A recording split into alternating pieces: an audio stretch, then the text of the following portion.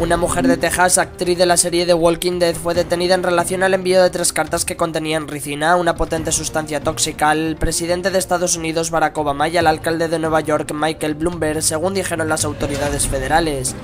Según informan varios medios estadounidenses, se trata de Shannon Rogers, de New Boston, quien supuestamente habría enviado las tres cartas envenenadas, aunque en un principio el FBI pensó que el autor era su marido.